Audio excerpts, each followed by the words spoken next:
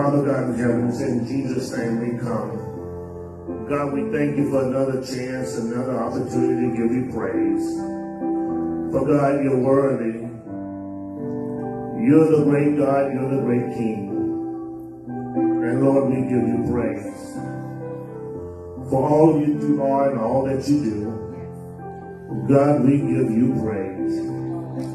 For all that you have done and all that you're doing right now, Lord, we give you praise for all that you will do and all that you're going to do. Lord, we give you praise.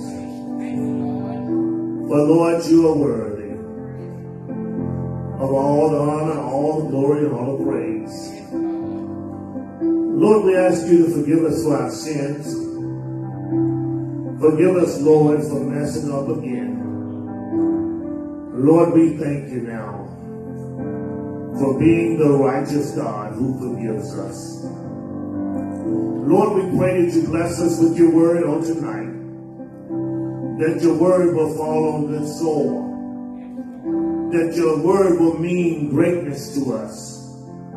That we will receive your word, Father God, that men, women, boys, and girls will fall out with their evil ways. And Father, that we will know who you are and greet you as the almighty awesome God, as the supreme God, the one who makes things well. And Lord, we ask you to bless us as we listen to you, that we will open our hearts to your word. Bless us as we carry your word to others, Father God, that they will obey your word, and hear to your word, and that they will experience a life-changing experience by way of your word. It's in the strong, mighty, powerful, anointed name of Jesus Christ we pray, and we ask it all. Amen and thank God.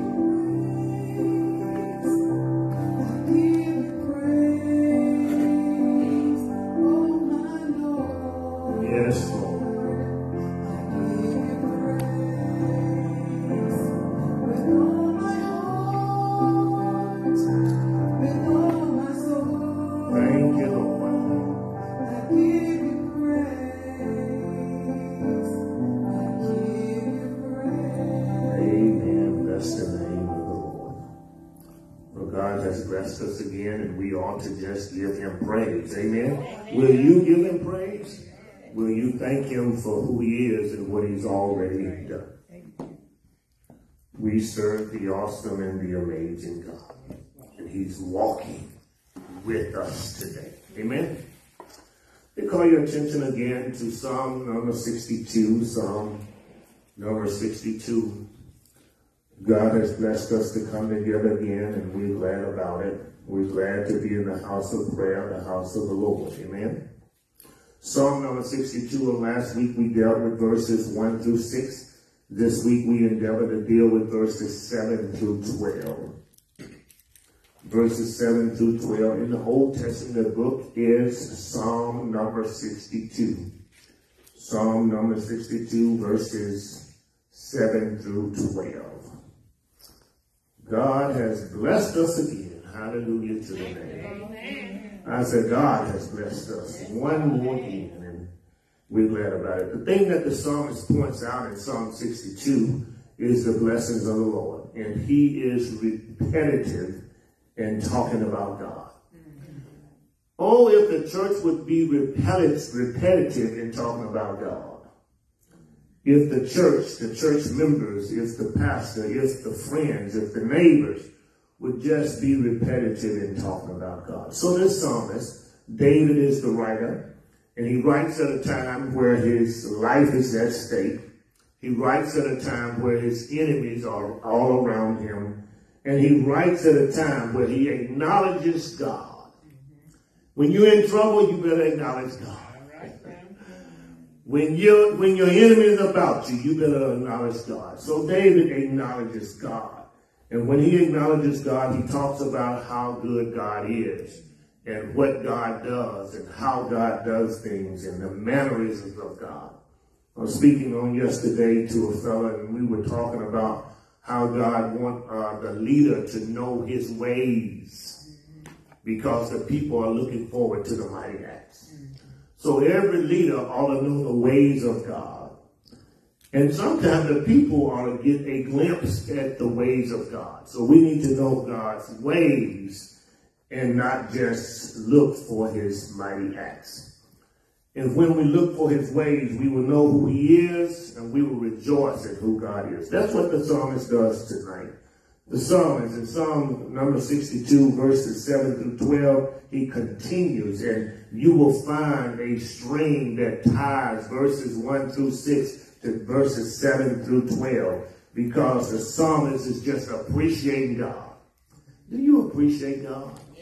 Do you appreciate who God is? Do you appreciate what God does. So the psalmist praises God for who he is, and then he praises God for what God does. Amen? Amen. Verse number seven. In God is my salvation and my glory. Told you last week the word salvation is deliverance. Remember, David's in trouble. He's in trouble. When your enemies are on your trail, you're in trouble. It doesn't matter how big, big, bad, and bold you are. When you have enemies on your trail, let me tell you, you're in trouble. Because enemies don't come to play pity pat with you. Enemies don't come to shoot marbles with you. Enemies don't come to pat you on the back. Enemies come to take you flat on out. Mm-hmm. Enemies come to deny the glory of God, deny the power of God, deny who God is, but they come, they show up with the intentions of taking you out. That's why growing up, I didn't, I didn't play wrestling. A lot of people play wrestling. I can't, I can't play wrestling because I'm going to be like the little children. You hit me too hard, I'm going to hit back. I couldn't play wrestling because I knew that if you begin to get the best of me, anything could happen. Because the enemy never plays fair. The enemy never plays fair, and it's evident that he doesn't play fair in the fact that he takes advantage of little bitty children. When you see a, a predator, a dog, uh, an alligator, they always focus on the smallest person in the group. We were riding on the trail one day, and, and as we were riding our bikes on the trail, one gentlemen had his little granddaughter with him, and she was about, about five years old. He had her sitting crossways on the bar in front of him, and we're just riding, minding our business, and all of a sudden, guy shows up with a dog. Matter of fact, he shows up with two dogs. One dog is a small dog, the other is a big, huge dog. And when he got close to us, within 10 feet of us, the big dog broke the leash. And when he broke the leash, he, he didn't come after us, he went straight for the baby. Big, huge dog. He squared off. You could see his chest rising. His legs was pointed out, and he went straight for the baby. It's because the enemy will always go after the weak. Always go after the, the little, the tiny. And so the enemy doesn't play fair. That's why I couldn't play WWE. Can't, can't play. The enemy doesn't play fair. You hit me in my eye, eye now, I'm going to bite you, scratch you, do whatever girls do, I'm going to do. Because the enemy does not play so there are no fair fights. You have to scratch for your life. In this spiritual walk with God, we're in the middle of a warfare.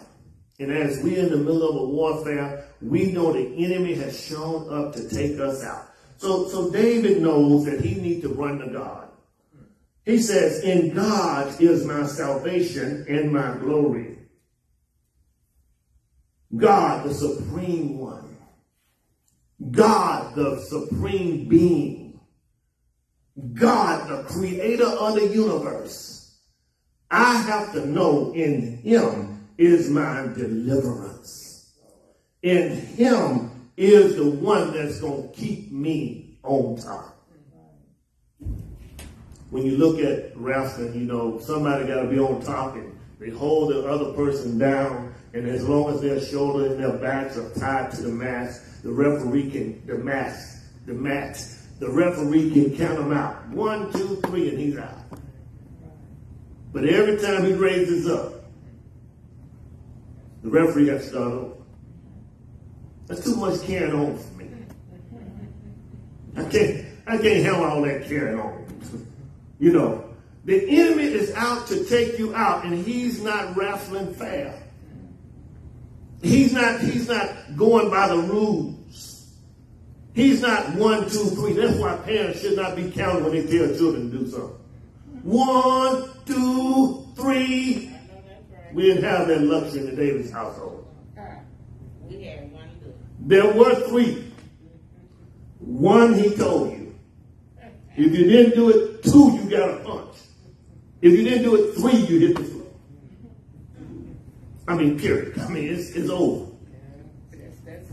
Lights out. It's over. Thank God it didn't have to happen too many times. Because the enemy, you see, parents have to discipline their children because the police doesn't know how much to put on. Parents know how much to put on their children, how much pressure to apply, when it's time to talk, when it's time to, to, to discipline in a cooperative way. Police officers don't care. So parents discipline in order for the police officer to not have to. Because the enemy didn't play. So we ought to depend on God. He says, in God is my salvation. In God is my deliverance. In my glory. And when he, when he says glory, he's talking about his glorious salvation. In other words, there is no salvation, there is no deliverance except from the deliverance that God has given and that God is able to give. And you know, God can deliver you, He can snatch you out. In the midst of all that's going on around you, God can really snatch you out, get you out of trouble. He delivers us. It's not our smarts. It's not who we were born to. It's not because we know everything and everybody. It's not your connection and your network. It is God that delivers us. So the psalmist understands, David understands that if I'm going to be delivered, it's going to be delivered from God. He says, in God is my salvation. I in God. I in God. In God. He didn't say A A-N-D God. He says I in God. In other words, there is no and that will deliver me. It is the fact that I'm in God that I'm being delivered. It says, in God. In God is my salvation. In God is my deliverance. In God is the glorious salvation that, that God has delivered me. The rock of my strength. And my refuge is in God. You, you ever heard the song? The song says, You are my strength. That's where it comes from. He says that in this word rock means the source of. This word rock is a boulder. This word rock is a, is a mighty fortress. He says, in God, God is my rock. God is my strength the rock of my strength, the source. You are the source of my strength. You are. Because God is the source of our strength. That's why choirs ought to sing songs that honor God. I know beats feel good, beats make us move, but if the beat does not honor God, we ought not be singing. The songwriter says, You are the source. And the, the psalmist says, This word rock means the source of my strength. He's the source of my safety.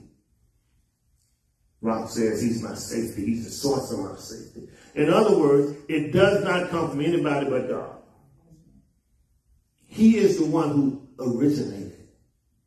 He is the one that, that makes us whole. He is the one that makes things right.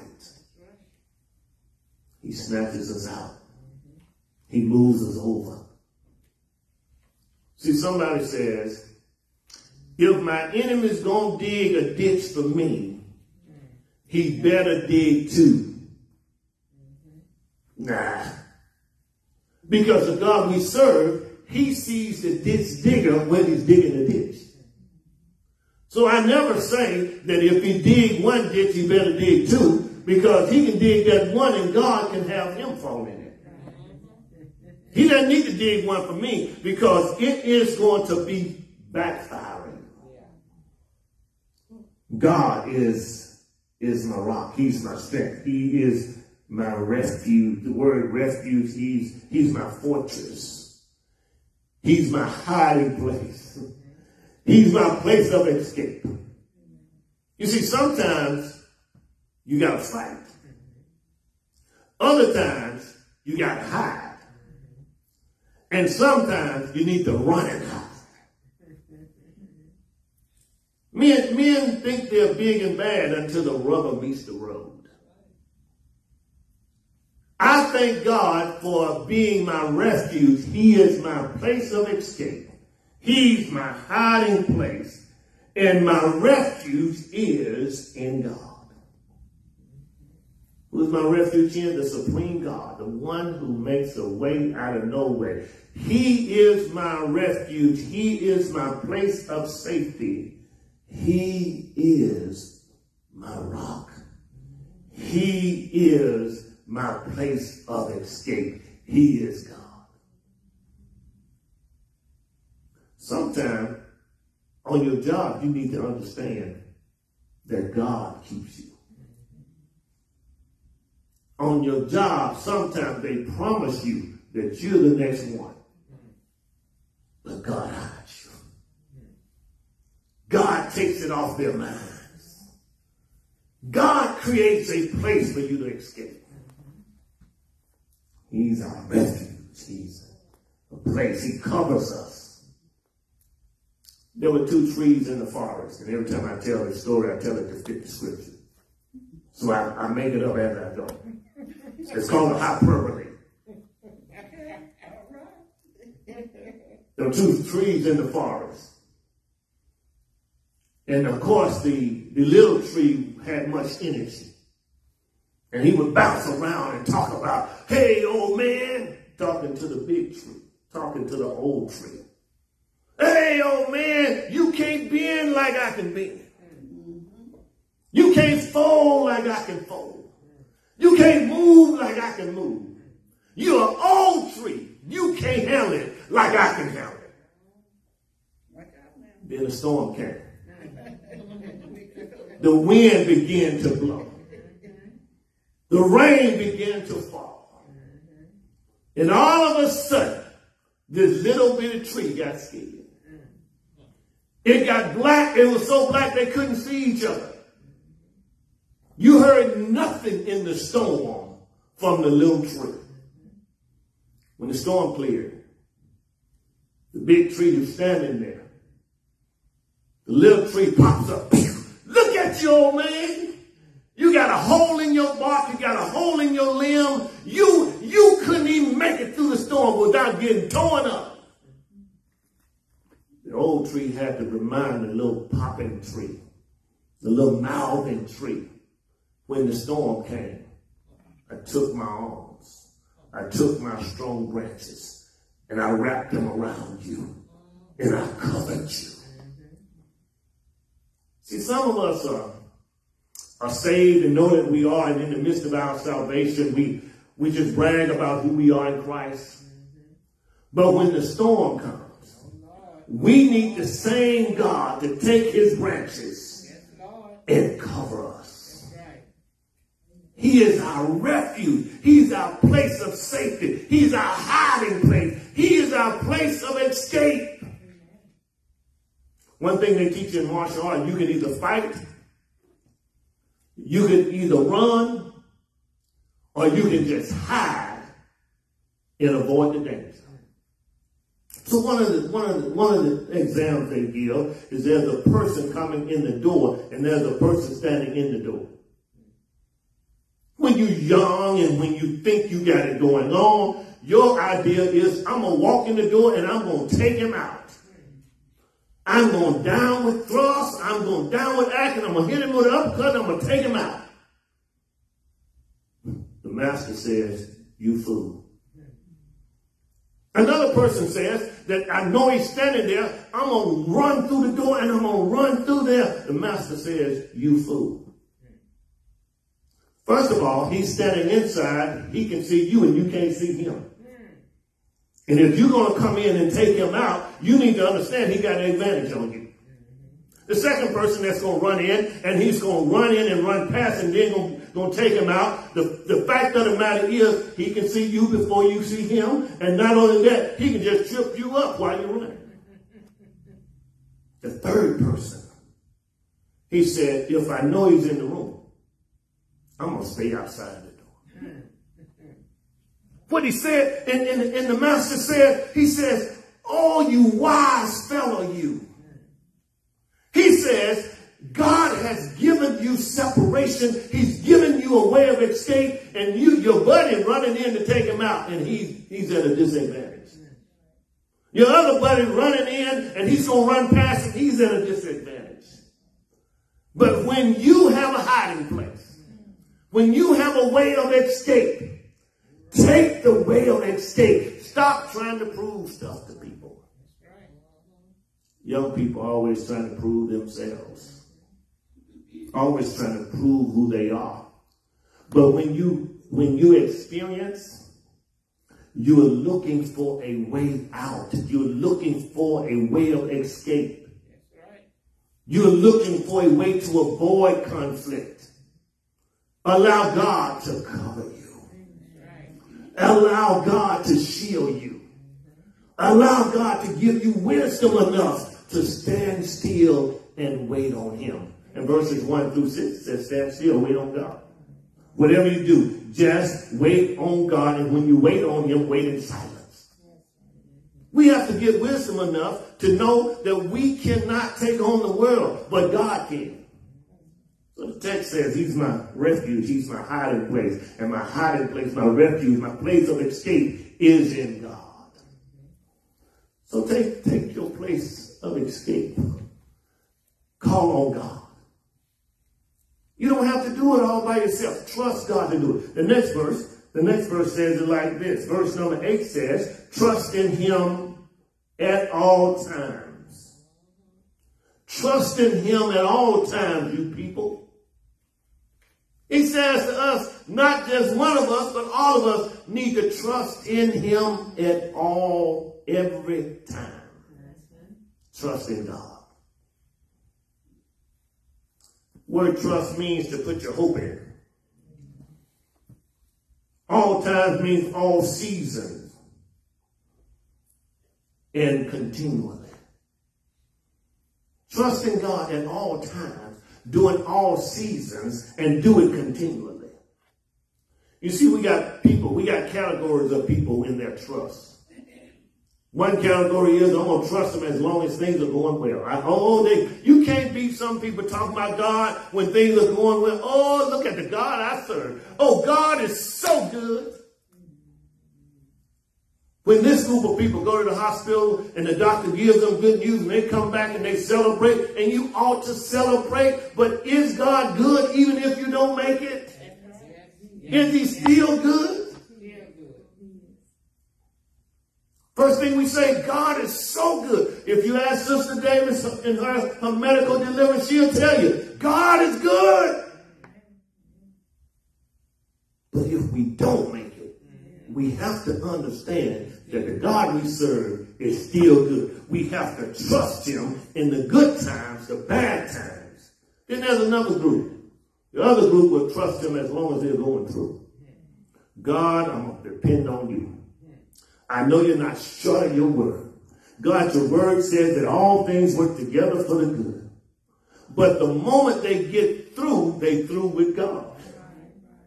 Y'all know some members of the New Beginning Church like that. Well, as long as there are some people when they're going through, I mean, they're on the floor rolling, they're standing and waving their arms and calling on God and asking God to deliver them and to keep them.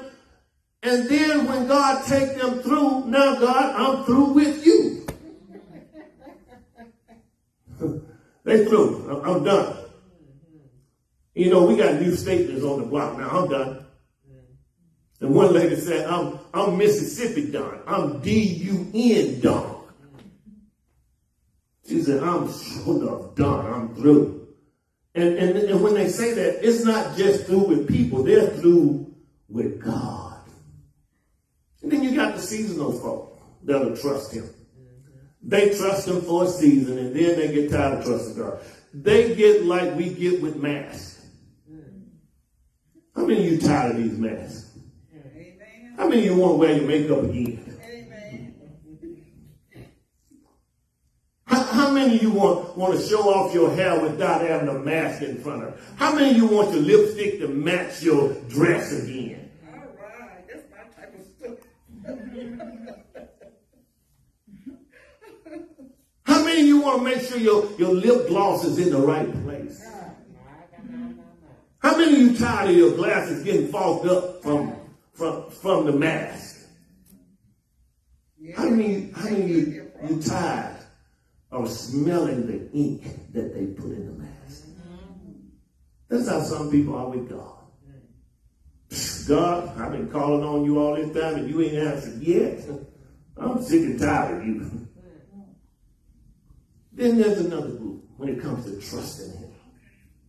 The other group is they get so bitter with God, they can't trust God.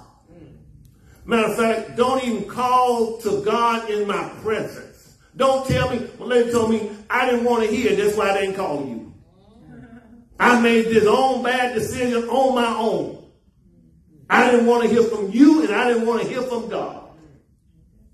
Let me make my own decision so I can live. I said, go on live with it then. Go on live with it, your bad self. And they get bitter with God. And, and they don't want Christians anywhere around them. They don't want to hear about the Bible. They don't want to hear about God. The text says, trust him in all seasons, in all times. All you people trust him. then there's another group that trusts him temporarily. It's the group who say the only thing down there at that church are a bunch of hypocrites. Mm. I ain't going down there, they're hypocrites. And I know many of us, including pastors, including preachers, have given Christians a bad name. I understand that. Mm. But my statement to you today, don't let unholy folk keep you away from a holy God. Don't, don't let unholy people keep you away from a holy God.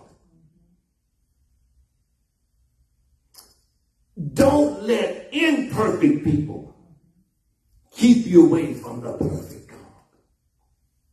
Our sign been out there a, a good four years now, way before COVID.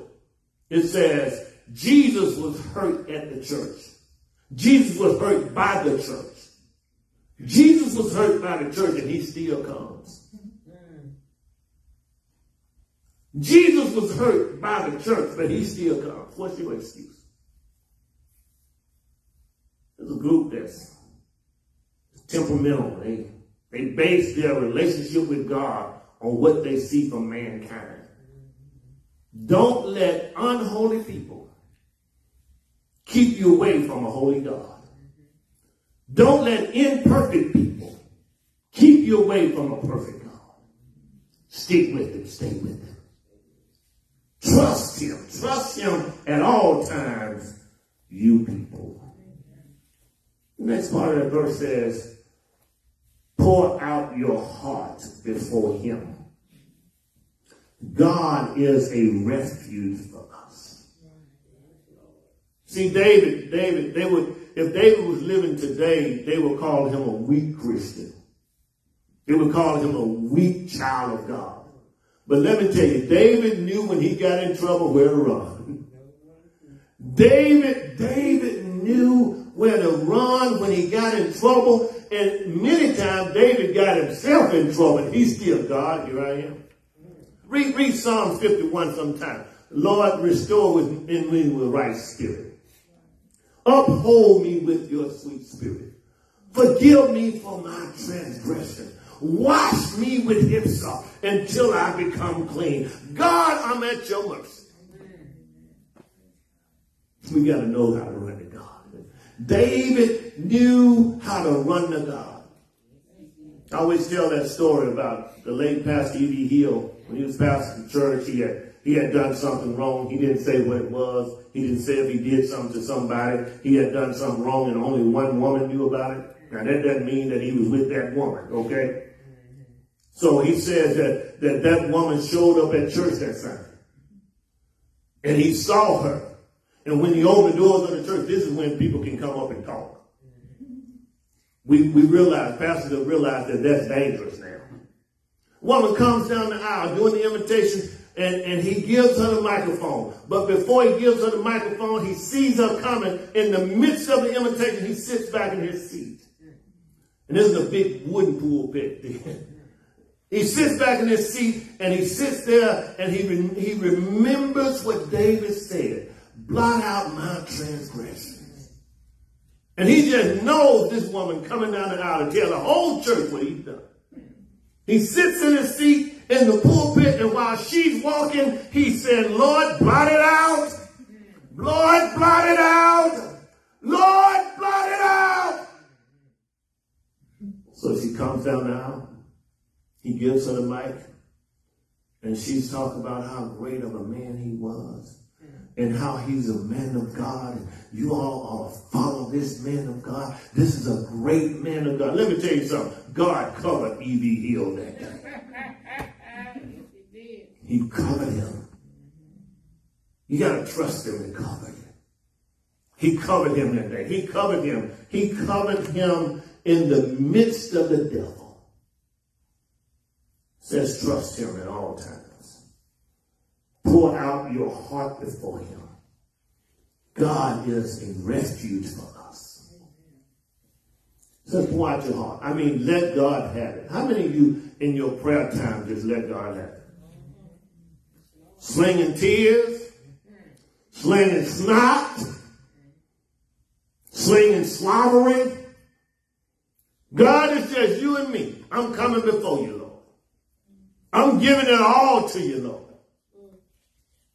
You gotta pour, your, pour out your, your heart before the Lord. Pour out your innermost being. You, you, you let everything hang out for your girlfriend, your boyfriend, your husband, your wife, you feel like you can you can do all things and tell all things in their presence. Before the Lord. David says, pour out your whole heart before God. After all, he says, after all, he is our refuge. He's our shelter in time of storm. He's our shelter. Noah, Noah worked on a boat for many years and people made fun of him. He kept hammering on the boat. And he had one song and one sermon. The same words. It's going to rain. Next day he said, it's going to rain. He just kept nailing, kept sawing. It's going to rain. And he didn't have no electric saw. He, he just kept nailing and kept sawing. It's going to rain. It's going to rain. He looked like a fool. But he said, it's going to rain. He trusted him when it went popular to trust him. Because when it rained, that boat, that ark became his refuge. God is our refuge. He's our very help in time of trouble. Call unto him old folks said, call upon him while you can. Call upon him while he can hear you. Because when your tongue cleaves to the roof of your mouth, it is too late to call on him.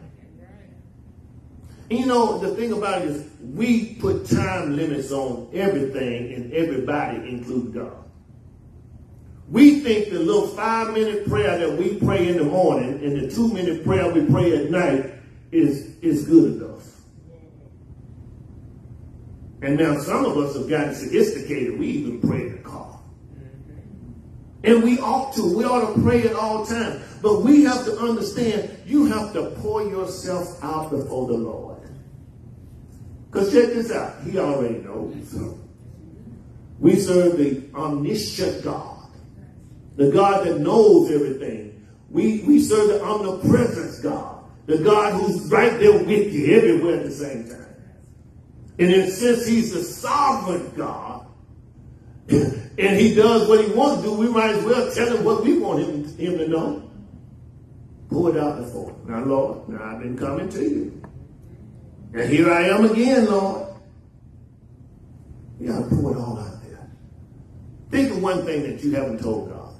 Think of one thing that you haven't given to God. Think of one thing you have not laid out before God. David says, pour it out before the Lord. Lay it all out there. Whenever a person is going to court and you have a lawyer involved, you need to tell your lawyer everything.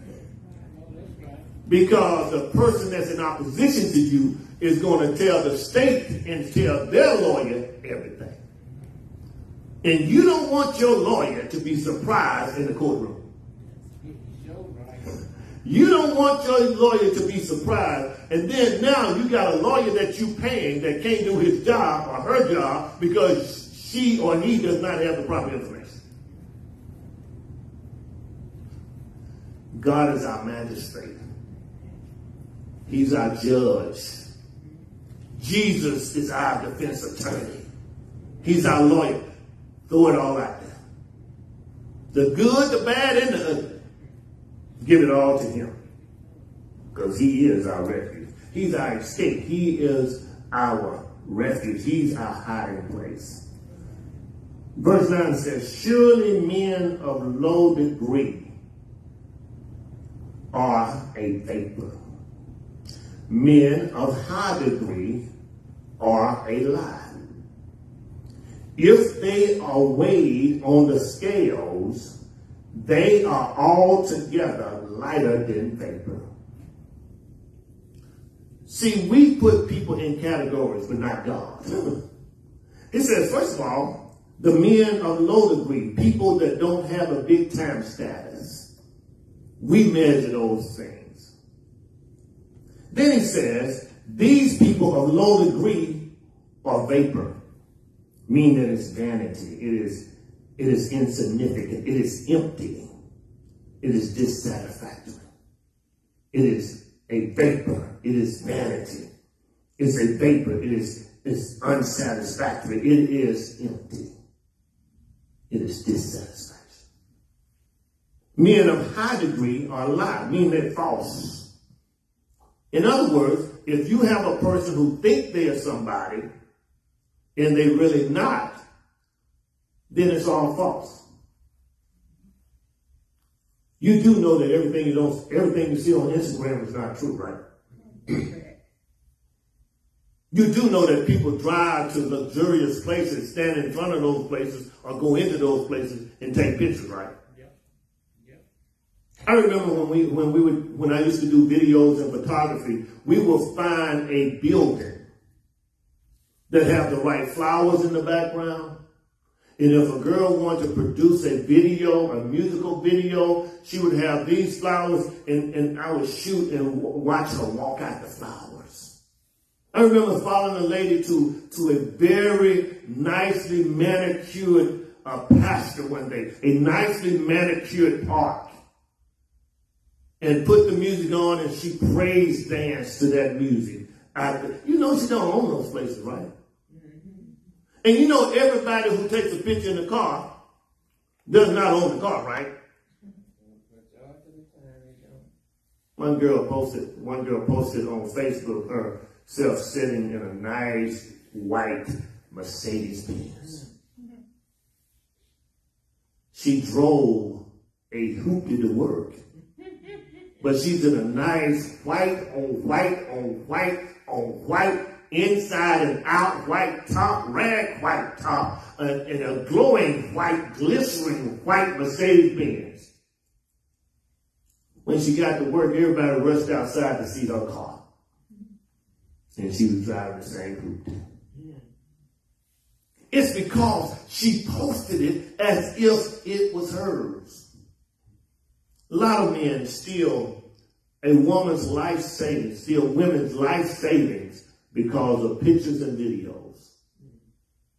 And I don't see how people can really be that gullible, turning a whole bank account over to somebody that they so madly in love that they met two weeks ago. I mean, they just turn it all over to those people who have put together a facade. The Bible says those of high degree are a lie, they're false. And it says when you put them on the scale and weigh them, this word scale, this word scale means the balances. It's a, a balancing beam. And it reminds me of weighing cotton in the country there was a, there was a weight on this side, and you put the, the cotton on this side. And they would just keep putting weight on it until the balance, the, the scale balances out, and then that's how you get the weight of the cotton. Mm-hmm. They didn't have a scale like you and I step on, mm-hmm. and it gives you out a number. Such it is here, it says, when you put all of them, the low degree and the high degree, on scales, on balances, all together, they are lighter than vapor. Remember, vapor is emptiness. Vapor is dissatisfaction, un, unsatisfaction. Vapor is vanity. And all that is vanity will not make it in the presence of God. So we have to brag on God, talk about how good God is. Verses 10 through 12. Do not trust in oppression, nor vainly hope in robbery.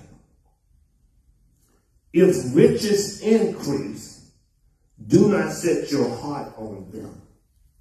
The psalmist starts talking like the wise writer in Proverbs. He says, do not trust in oppression. Don't, don't trust in the unjust. Don't let those who are being unfair to you distract you. He says, don't, don't trust in the, the false, the phony, the oppressed, the oppression. Don't let oppression phase you. There's a group of people who used to make men, and here in the city of Houston, these men would work selling cars all day. Now that, that dealership has closed down, got a new name. These men would work selling cars all day for two weeks. And when they went to get paid, the supervisor would make them crawl on their knees for their checks. That Chevrolet dealership had to go out of business and it's a new name. But he would oppress them to the point where they would have to, like little children who have not walked before, crawl on their knees and beg for their checks. Oppression. He says, don't put your trust in that. And he says, don't put your trust in vainly hoping in robbery. This word robbery means to take by force, to take by violence. The difference between stealing and robbing is that you steal when nobody's looking, but when you rob somebody, you hold them up at gunpoint right there on the spot in their face, and you do it in a violent nature. You hold them hostage. You take their stuff. Don't be moved by that, the writer says. If riches increase, if you get more money, get more wealth, get more valor, do not set your heart on them. Don't trust in them. says whatever you do, trust God. Don't, don't let people oppress you and, and make you do stuff. In other words, pure pressure.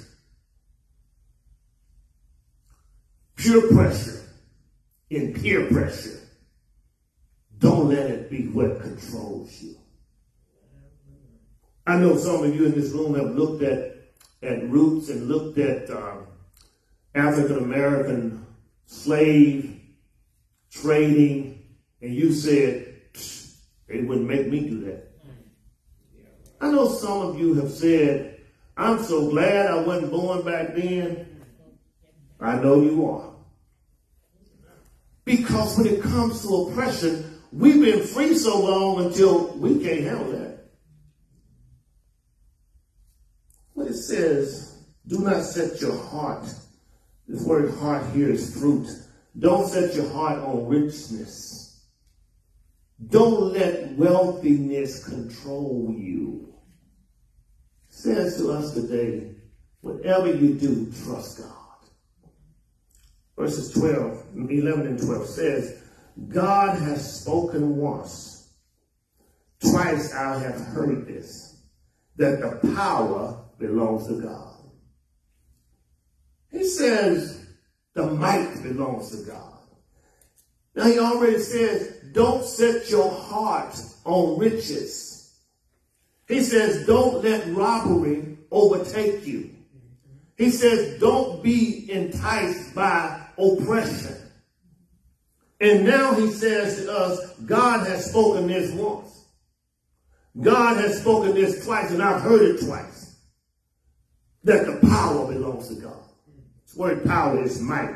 Security belongs to God. Matter of fact, the boldness belongs to God. Says to us today, trust in God. Found in verse number 12.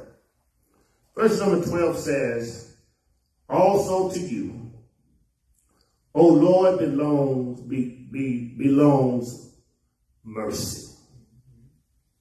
In other words, Lord, mercy belongs to you. Word mercy is favor, kindness, and goodness. If you're going to get some mercy, you can forget about man. Mercy comes from God. You can forget about mama. Mercy comes from God. He says mercy belongs to, to the Lord. Oh Lord belongs mercy. Oh, to you, O oh Lord, belong mercy. God has mercy for us. He has favor. He has goodness. He has kindness for us. For you render to each one for for you render to each one according to his works. Remember, the psalmist is talking to God. And he said to God, God, whatever you do, I know you are fair. I know you give to everybody according to their works. He says, first of all, God, you have mercy. In other words, you don't allow me to die when I should have. You do not discipline me like I should be disciplined. You do not abuse me like I deserve to be abused. And then he comes back and says, God, you reward everybody fairly. You give, I know, I know when you look at other folk, it looks like it's not fair. The psalmist in Psalm 73 says it like this. He says, I looked at the wicked and I saw the prosperity of the wicked. I saw the wicked prospering. And here I am trusting God, and I can't get a hill of a bean. The psalmist says, I looked at the wicked, and the wicked was prosperous. They were way more prosperous than I was. And here I am, Lord, I'm trying to do your will. Lord, I'm trying to do what's right for you. Lord, I'm treating people right. Lord, I'm going to church on Sunday. Lord, I'm giving my time. And I see this joker down there that's poisoning children. He's riding what he wants ride. He got all he wants to do. He wants to have. And here I am, Lord. I'm begging you, Lord. I'm trusting you. Lord, give me what I'm asking. Then the psalmist in Psalm 73 says, he did not understand until he went into the sanctuary of the Lord. And then I understood that the wicked got a, a devastating day coming. He said, when I went into the sanctuary, the synagogue of God, then I understood real good that the wicked is headed for destruction. That's why we tell our children, don't get rich quick because it's coming to a devastating screeching halt. There are so many children dying from drugs because they thought they could get a quick high and move on. I've told you over and over again, if I pass away and there's drugs or alcohol in my system, you need to go launch a full-scale investigation. Because I didn't put it there. It was injected, it was forced, even may have been poured down my throat. you need to understand that God will render mercy unto each of us, and God will reward us for the work we do. Now, this is the thing. People want God. Anybody in this room want God to say, say, servant, well done. Anybody raise your hand. You want God to say, servant, well done. Do you really want God to say, servant, well done? Now, the little time we spend on planet Earth, even if it's 120 years, the little time we spend on planet Earth is nothing to be compared to the glory that is to be revealed by Christ Jesus on the other side. And we have to be faithful to what God does for us now and where God places us. If we're not faithful down here, why you want God to say, servant well done? You ought to examine yourself. Paul says, examine yourself. And you ought not just examine yourself when it's time for communion. You ought to go day by day examining yourself. God, have I deserved to hear servant well done? Let me just tell you. In order to hear servant well done, you would have to have done well. Because remember, God reward according to our works. And if you're going to hear servant well done, you're going to have to do well. Because it says men lie, God doesn't lie. Will you hear servant well done? Or you, will you hear servant, you did something. You did something. You, you, you accumulated something. God wants to say servant well done. And you know the thing is, we don't have to tell anybody what they've done. We don't have to remind people what they have not done. Lady asked me one time, were you talking to me in my sermon? I said, everybody in the room I was talking to. Well, it sounded like you were preaching direct to me. I said, that's what the word does. It hits you where you are. We ought to leave here some Sundays and some Wednesdays like Zorro has cut us up. I don't enjoy every message either. But it's one thing about it, it's never junk mail. God said to Ezekiel, eat the whole roll. It's bitter, God, eat the whole roll. The same gospel that makes Annie shout will make Susan pout. But it's good for your soul. Mm-hmm. And if you want an example of well done, if you want an example of someone who did well, if you want an example of someone whose rewards were great and are great, look to Jesus. Don't compare yourself to anybody else. Amen. Because Jesus could have called a legion of angels to come down, but he stayed on the cross. He died, he was buried, and he rose from the dead. It was a dark time, but Jesus gave his life for us. The door of the church is open. Amen. The invitation is extended. We have to trust Jesus in order to make it. The door is open. If there's anyone who's not received Jesus Christ as your personal Savior, this is your moment. You can get it right with God. If there's anyone who has neglected your duties, this is your moment. First of all, if you have not been saved, would you bow your head with me and invite Christ into your life? Say, Lord Jesus, I believe that you are the Son of God. I believe that you died for my sins. I believe that you rose from the dead. Now come into my life and make me a new person.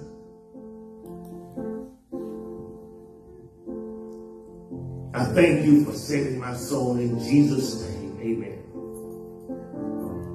If you honestly believe that Jesus is the Son of God and that he rose from the dead, after he gave his life, this is your moment. You're now saved, born again, on your way to heaven. And there may be others who the text declares God will render to each one according to his works, according to your deeds. Let me pray with you. Lord God, we confess that we have not done it right. We confess, Lord, that we've fallen short. God, we confess that we have not poured out ourselves unto you and we have not done well with what you've given us to do. God, I ask you to forgive us. Bless us in our private time to call unto you and pour out ourselves unto you. Bless us, Lord, that we will turn over a brand new activity. One that will please you, Father God. One that will be a blessing. That will glorify you and bless other people. Lord, we ask you to forgive us for being selfish and, and not doing the work of the kingdom. Lord, we ask you to encourage us, to, to excite us, to ignite us, to be about your will and do your business. It's in the strong, mighty, powerful, anointed name of Jesus Christ we pray. And we ask it all. Amen and thank It is offering time. It's time to give to the Lord through tithes, offering, and sacrificial gifts. It's time to give unto the Lord. For those of you who are giving electronically, you can do so by giving by way of Zelle. Our Zelle account is lifting.jesus at yahoo.com lifting.jesus at yahoo.com. Zelle lifting.jesus at yahoo.com. If you want to mail in uh, your gifts, you can do so by mailing in to P.O. Box 503, Missouri City, Texas 77459. That's P.O. Box 503, Missouri City, Texas 77459. Thank you so much for joining us. Thanks for being a part of our service on tonight. We're looking forward to seeing you for, for Bible study every Wednesday night at 7.15, seeing you on Sunday morning at 9 a.m., and also for worship service at 10.30 a.m. That is our Sunday school at 9 a.m. Come by and be a part of our services. Father God, we thank you now. We bless your name. We thank you, Father, for blessing us and keeping us. We thank you for your word. Lord, we ask you to bless your word to be strong, be strength, to be refuge. We thank you, God, for who you are, for what you do. We ask you to bless, Father God, every listener. We pray that you bless and heal as only you can. God, encourage as only you can. And Lord, convict as only you can. That our lives will be made the better that we will run and tell of God's goodness, and that you, Father God, will receive the glory. Now unto him who is able to keep us from falling, unto him the only wise and only true God, unto him be power, be glory, and dominion. Until we meet again, let us join together by saying, Amen amen. Let us stand for our mission and vision statement. We are uniting the church, strengthening families, supporting schools, and empowering neighborhoods to impact the world as we are reaching souls by lifting Jesus. Jesus said, And I, if I be lifted up from the earth, will draw all men unto me. John 12 and 32. You are dismissed.